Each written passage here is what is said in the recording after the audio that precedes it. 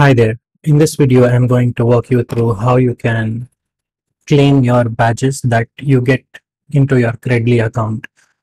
I see a lot of people still struggling um, with the email, how to accept that and stuff like that. So uh, in this video, I'm going to be talking about three things. One is like whenever you get an invitation email to accept the badge, maybe you have got some certification, maybe you completed a course so in one or the other way, if you have been invited to accept the badge via email, how would you do that? The next thing is what if you are not able to find email or for some reason the email hasn't uh, come into your inbox for whatever reason it is. So in that scenario, if you know which email uh, are you expecting the badge in, how can we proceed with that? That's like the second scenario. And let's say like you have some badges in one credly account some more badges in another credly account. How would you merge these two accounts and the badges within them? So that's what we will try to take a look at now. Okay so to begin with uh, i have been invited to accept this badge. So i have this email. If you see like um, I have been invited or it says like you have earned a badge for AWS certification as an AWS Academy educator.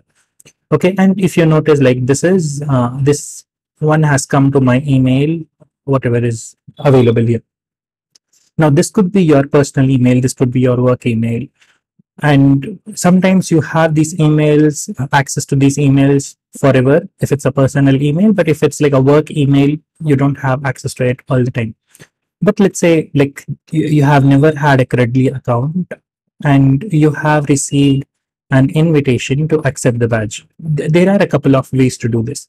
Now, number one, if you don't have an account, all you have to do is just like uh, click on this link, click on accept your badge. I'm going to copy paste the URL here. And once I do that, it is going to ask me congratulations on badge well earned and then like now it prompts me to create an account because this email id to which the badge has been delivered it has not been linked to any credly account. That's the reason why it is showing like this. Now let's say what i do is i click on create an account and it will ask me to fill in my details. That's what i'll do right now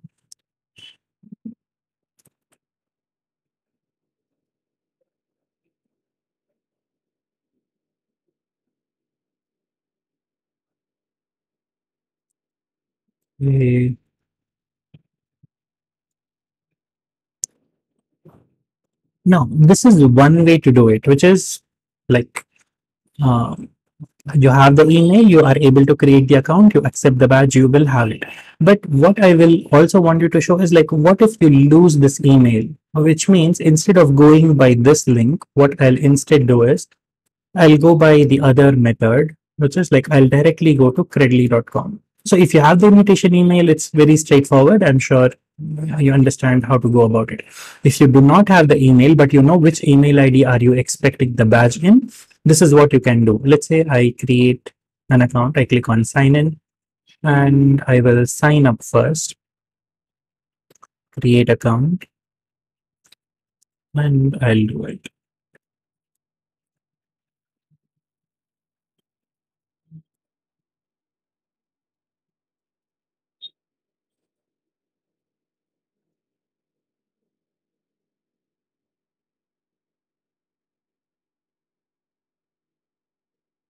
I create the account.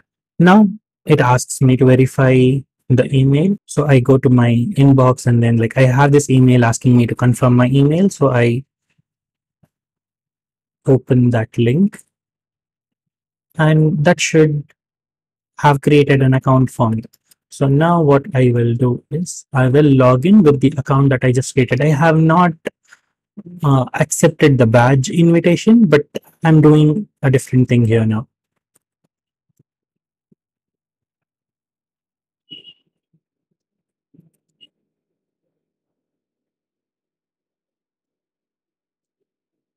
So once I sign in, if you see like, even if you have lost the badge, you should be able to see this thing here, which says like a badge has been issued to you. Do you want to accept it? This is like the second method. If you have lost the email, but you know which email ID to which email ID should the badge be sent. This is one another way to figure it out.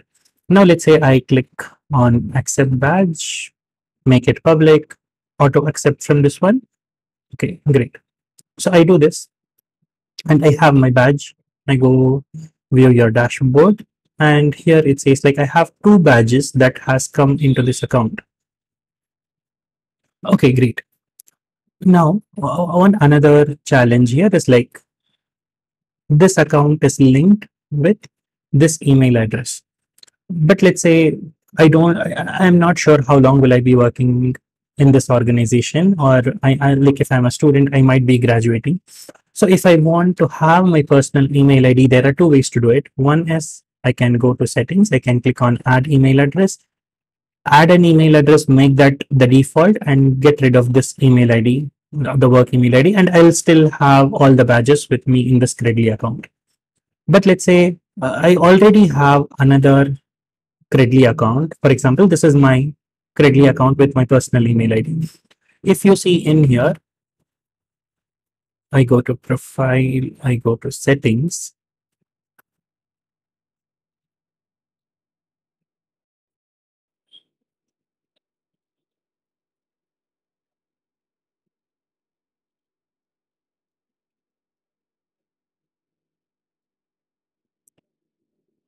So I, I have a couple of academy accredited educator badges, but the one that I recently received is like one is educator, one is certified educator. I don't have them in here. So what I'm going to do is like go to settings and first add an email address. If I add an email address, the thing will be it my uh, college email ID, it already is associated with another account. So what I can instead do is I can click on merge an account.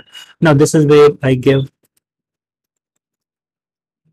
my email address from the other account, give the password for the same thing. Next. Now this should be sending me an authorization code. So I should receive that in my email. And as soon as I have it, I can copy this, paste it here, and then click confirm. okay it says like badges accepted to that account has two badges. So i go ahead and then click on merge accounts. So those two badges will actually be available here for me now. So you see like the educator one and the certified educator one has come in here. And if i come back to this account and let's say i refresh the page it has logged me out because that login is not valid anymore. The account has been merged, which means that email address will also have been added to my primary or my personal Credly accounts uh, list of email addresses. So this is how like you can accept the badge if you have the email. If you don't have the email or if you have multiple accounts, you can merge them. That's it for now. Thank you.